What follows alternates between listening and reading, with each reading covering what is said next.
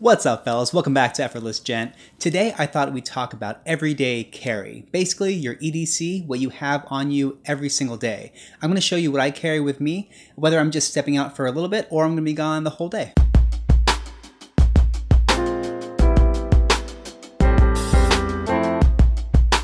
All right, so like I mentioned earlier, an EDC or everyday carry is essentially the stuff that you have with you on a daily basis, whether that's in your jacket pockets or your pants pockets. Maybe you carry a bag with you. It's the stuff that you always bring with you no matter what whenever you leave the house. Everyday carries or EDCs are sort of like a movement. There are blog posts and Tumblrs and whole blogs and even whole videos dedicated to what people carry with them on an everyday basis. People love showing what they carry day to day, and I think other people like seeing what others carry as well. So today in this video, I'm gonna show you what I bring with me on a daily basis. Now, this might not be the same exact stuff that you carry, and that's the whole point. Like, this very much like style or wardrobes are very personal. It's all about what you need and what you realize that you use throughout the day. So even if I carry something that you don't necessarily carry or vice versa, nothing wrong with that. I'm just here to show you what I carry and maybe that'll inspire you to maybe think about uh, what you might need throughout the day as well. I also am not doing like a workday thing because I feel like what I pack in my um, bag when I go to do work, let's say at a coffee shop or uh, remotely, uh, my packing is a little bit different because I do have a bag. So this is strictly a really minimal everyday carry, what I just carry on my person. That is what I'm gonna show you today. So as I'm getting ready to step out the door, the first thing I go to grab is my wallet. I always have this big fear that I'm going to forget my wallet and I really hate leaving the house without my ID, without my credit cards. It's just really tough to do anything. I do have a few wallets that I like to cycle through. Sometimes I might change them here and there depending on where I'm going, but really I tend to stick to one for a long period of time. The wallet I've been using for the past few weeks is from Rogue Industries and it's a front pocket wallet. And mine is actually made out of moose leather. There are a few things that I like about this wallet. One is that it's kind of a unique design. There's uh, It's squared off on one end and then on the other end it's curved. It's designed to fit in your front pocket. Now I don't know about you, but I live in New York City and sometimes I just feel a little bit conscious about my stuff. I'm always thinking like, there are pickpockets out there.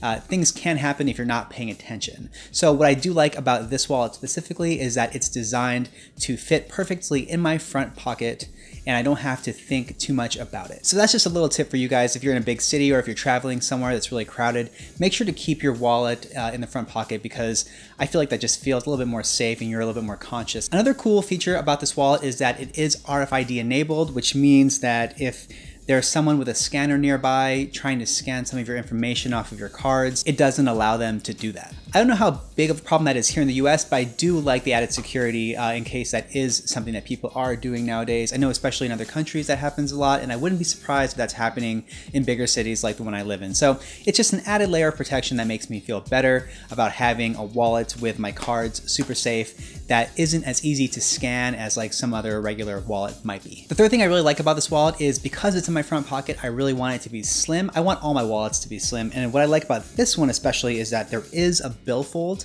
so I can keep some bills in there. I don't carry too much cash, but if I have like a 20 or something, I can keep it in there. And on top of that, there are still one, two, three, four, five, six card slots while still maintaining a really slim profile and the ability to put it in my front pocket because it's designed with that curved end so it fits nicely in there. Anyway, so wallets are the first thing that I grab from my little valet when I'm heading out the door. This one happens to be from Rogue Industries. Uh, I encourage you to go check them out. I think their wallets are really great and they are sponsoring this video, so thank you to Rogue Industries uh, for being a part of this video and uh, make sure to go check them out. I will link to them in the description box below. So along with my wallet, the second thing I hate when I forget is my phone. That might, that might actually be worse than forgetting my wallet actually. I hate when I leave my phone at home because I it's I'm tethered to that thing. I use it for everything from directions to contacting the people I'm going to meet, things like that, and I'm sure you're the same way. So I always make sure to carry my phone with me. I keep it by the door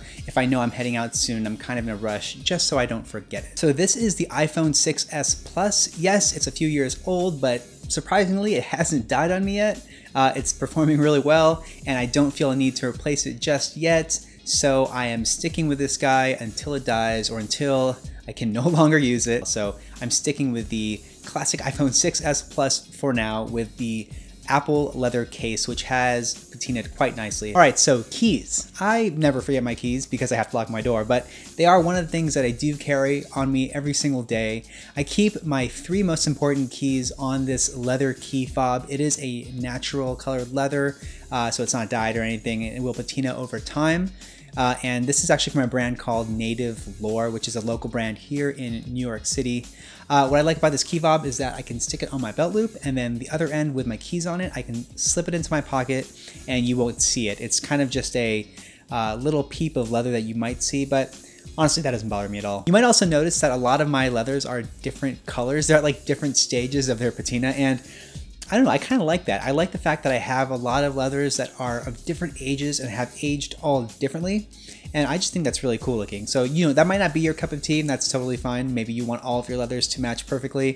For me, I like having a little bit of wear and tear on my stuff. It shows that I've owned it for a long time, that I care for it, that it lasts, things like that. So you might notice that my leathers are different colors, but that's the reason why. So the third thing I grab typically after my phone, after my wallet, is my watch.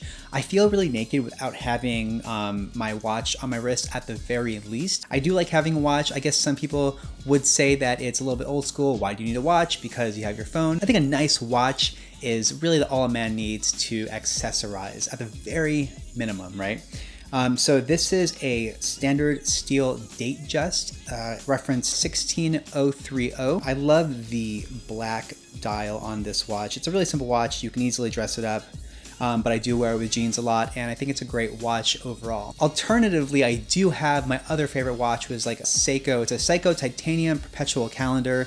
It's like 25, mm, 20 or 25 years old. It's it's a really old watch uh, but I've had it for a long time and it's a really lightweight watch and I like the perpetual calendar feature because I don't have to set the date every time uh, months change from 30 to 31 days or from 28 days in February to you know 30 or 31 days the next month. So I like that this watch uh, keeps track of those days and how the days skip. The only accessories that I have on my wrist other than my watch are this wooden beaded bracelet and this like ID tag leather strap bracelet. I've had both of these for a few years, so um, there is a nice patina on them.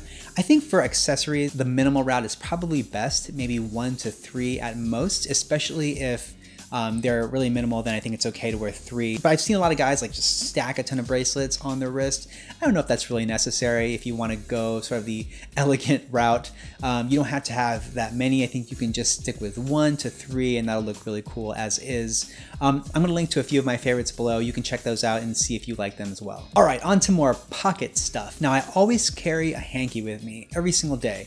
Even if I'm not wearing a sport coat with a, a pocket square in it, I like to carry a cotton hanky That's because I always find myself in positions where I need to like wipe something down or like dry something. Like, have you ever been in a public restroom where you wash your hands and then you go to grab some paper towels and you realize that there is none and you're like screwed because now you have wet hands so you have to like wipe them on your pants or like on the guy next to you.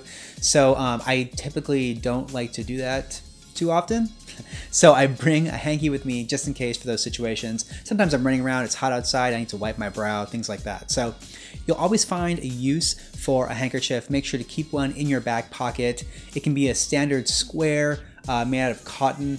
Uh, you might have like summer pocket squares that you don't use anymore that are made out of that cotton or linen material, you can throw that in your pocket and it's perfect. I also like to have a tin of mints with me wherever I go. You can always pop those in and like let them melt on your tongue and you'll always have fresh breath. I think a lip balm is crucial, especially I was gonna say especially in the winter months when your lips and skin gets dry, but honestly, even in the summertime when there's uh, when the sun's beating down on you, you want something with a little bit of SPF. Make sure your lip balm has SPF. That's gonna help save your lips from being sunburned or peeling, whatever. Uh, I always carry lip balm with me because I don't like when my lips feel all dry. They're probably dry right now. Mm. These are the three things that I keep in my pockets at all times. It's a hanky, a pack of mints, and also uh, lip balm. A signature fragrance. I put this in my EDC, my everyday carry, but honestly, I don't carry it with me everywhere I go, but I do spray a couple sprays before I leave the house, typically on my pulse points, so somewhere on my neck, usually the back of my neck as well. Sometimes scents tend to fade faster than others, and this is kind of where you have to test your fragrances to see which ones last or which ones are really strong or powerful versus ones that kind of fade away. So if I have a fragrance that tends to fade away, I will spray a little bit more uh, in the morning so it lasts longer throughout the day. But if I have one that's really strong and fragrant and lasts a long time, I will only do maybe one to two. Now I take my standard Apple white earbuds everywhere I go if I need to, I don't know, kind of zone out, or if I'm walking around the streets of New York City and I don't want to listen to construction or traffic noise, uh, and I'm just taking a nice peaceful walk, I would pop those earbuds in and I can just listen to music, or maybe I need to take a call, things like that. I always carry a pair of headphones with me wherever I go. All right, next up, a pair of sunglasses. I don't keep this in my pockets, really. Usually they're hanging right here in front of my shirt. Sometimes it's in my shirt pocket, but I do always need a pair of sunglasses with me. I can't really walk around the streets without them. I'm so used to them at this point. Uh, when there's like wind gusts hitting my face or like dirt from constructions flying on me, I need like sunglasses to protect my eyes. And I just feel better about having, you know, shades to kind of you know keep my eyes protected from the sun. So sunglasses are a must when I leave the house. All right, fellas, that's all I got for you today. I hope you enjoyed this video. That is what I carry on me every single day. Thanks again to our friends at Rogue Industries for sponsoring this video. You guys have to check out their wallets. They're incredible. Mine is made out of moose leather. I've never had a wallet made from moose leather before, so I think that's really cool. Check out the front pocket wallets. There are so many different kinds. What I like, like I said about these, are that they fit really nicely in your front pocket, so you don't have to like feel all awkward in there. There's no like sharp angles or corners. It fits in there perfectly. So go ahead and check out Rogue Industries. I'm going to drop a link in the description box below so you can take a look and tell them I said what's up. If you enjoyed this video, please hit that like button. And if you haven't already, make sure you subscribe. Cool. I will see y'all in the next one. Peace.